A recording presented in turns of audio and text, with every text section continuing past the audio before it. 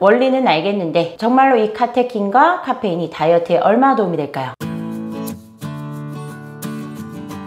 안녕하세요. 내과점의 닥터케입니다. 우리가 흔히 건강보조식품으로 다이어트를 할 때 가장 많이 접하게 되는 성분이 두 가지 있죠. 바로 가르시니아와 녹차 추출물인 카테킨입니다. 이 가르시니아에 대해서는 지난번 영상에서 한번 설명드렸던 적이 있어요. 참고해 주시면 좋을 것 같고요. 오늘은 가르시니아만큼 대표적인 성분인 녹차 추출물인 카테킨에 대해서 알아보겠습니다 카테킨이 어떤 효능을 갖고 있고 다이어트에 정말 도움은 될까요? 그리고 과연 얼마나 살이 빠질까요? 이 카테킨이란 성분은 녹차에 포함된 폴리페놀의 일종으로 떫은 맛을 내는 성분이에요. 항염증 작용으로 혈관의 동맥경화를 억제시키고 나쁜 콜레스테롤인 LDL을 감소시키고 장에서 지방 흡수까지 차단하게 하는 다양한 효과를 갖는 것으로 알려져 있어요. 우리가 시중에서 접하는 녹차 추출물 이것은 녹차를 농축시켜서 가루로 만든 제품도 있고 알약으로 만든 제품도 있어요. 보시는 것과 같이 다양한 성분들이 포함되어 있습니다. 있습니다. 이 녹차 추출물은 앞서 말씀드린 카테킨이라는 성분이 포함되어 있는데 이 카테킨으로 인한 효과 외에도 암세포의 자살과 신생혈관 억제 작용 등을 통해서 간암과 대장암의 발생률도 떨어뜨린다고 되어 있어요. 이뿐만 아니라 다이어트 목적이나 피부 미용까지 다양한 분야로 활용되고 있는데요. 오늘은 이 중에서 다이어트 측면에 집중해서 알아볼게요. 녹차나 녹차 추출물에 들어있는 카테킨이라는 성분은 우리 몸의 신경 전달 물질인 노르에피네프린을 분해하는 효소인 카테콜 O 메틸 트랜스퍼라제라는 성분을 억제하게 되고 동시에 카페인이 포스포디에스터라제라는 효소를 억제시키게 돼서 이 녹차 추출물이 노르에피네프린이라는 신경 전달 물질에 영향을 주게 됩니다. 이렇게 영향을 받은 노르에피네프린은 교감신경을 항진시키게 돼요. 그렇게 교감신경이 항진되면 우리 몸속의 대사가 촉진되고 지방이 산화되고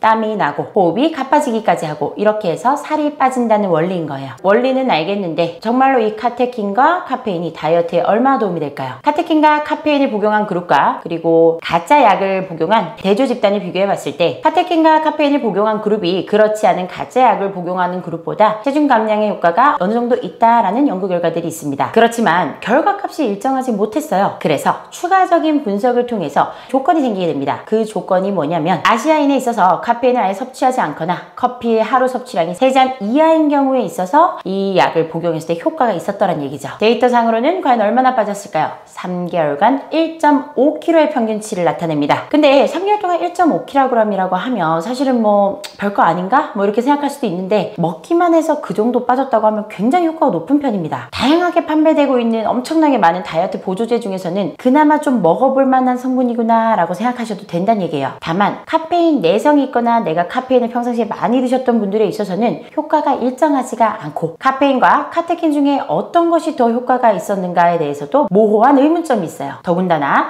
오랜 기간 섭취를 하게 되면 당연히 내성이 발생하고 부작용도 있을 수 있죠. 카페인의 부작용을 예방하기 위해서 이 녹차 추출물은 저녁에 드시는 것보다는 아침에 드시는 게 좋습니다. 자, 그러면 이렇게 어느 정도 체중 감량에 대해서는 3개월에 1.5kg 정도는 효과가 있는 이 카테킨 부작용은 없을까요? 이전에 다루었던 가르시니아와 비슷한 점이 많습니다. 카테킨의 치명적인 부작용은 바로 간에 치명적일 수 있다는 거예요. 미국 국립보건원에 따르면 카테킨은 간 독성 가능성이 명백한 A등급 물질입니다. 녹차 추출물 성분 중에 에피갈로카테킨 갈레이트가 가장 생리활성이 강한 만큼 그 부작용 또한 크게 나타날 수 있어요. 이 카테킨의 쥐의 간세포 실험 결과 미토콘드리아의 독성 그리고 활성산소 독성까지 생긴다는 부작용이 있었어요. 자, 간독성보다 일반적으로 발생하는 부작용으로는 두통, 구토 그리고 카페인에 대한 기본적인 부작용 이런 부작용들이 나타날 수 있어요. 사실 간독성은 그렇게 빈번하게 발생하진 않고 발생할 확률이 떨어지긴 합니다. 그렇지만 발생했을 때 치명적일 수 있고 이 치명적인 간독성 증상은 영국 BBC 방송에서도 한번 소개될 정도가 있을 정도로 굉장히 심각할 수 있기 때문에 조심하셔야 합니다. 어떻게 조심하느냐?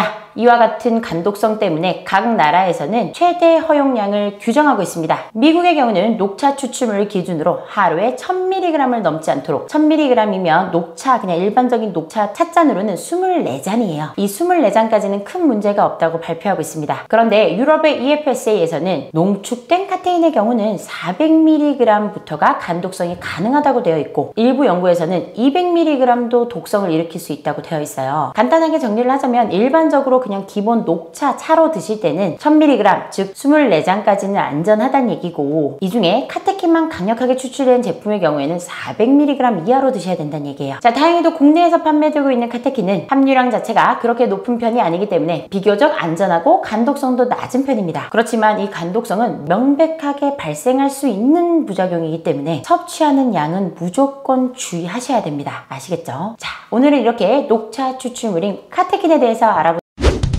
는 시간을 가졌습니다. 효과와 부작용 그리고 권장 용량까지 알아봤어요. 체중 감량 효과가 다른 것들에 비하면 어느 정도 그래도 검증된 식품이긴 합니다. 그렇지만 한편으로는 다량을 장기간 드실 경우에는 간독성까지 발생할 수 있는 식품이기 때문에 적정 용량을 안전하게 드시는 것이 필수적이에요. 자, 적정 용량만 섭취한다면 포함되어 있는 태아닌 성분 덕에 신경 안정 효과까지 볼 수 있는 녹차, 카테킨과 태아닌, 그리고 카페인까지 오늘은 커피 한 잔 대신 녹차 한 잔 드셔보시는 건 어떨까요? 오늘 내용이 마음에 드셨으면 구독과 좋아요, 알림 설정 부탁드릴게요. 감사합니다. 내과 전문의 닥터 K였습니다.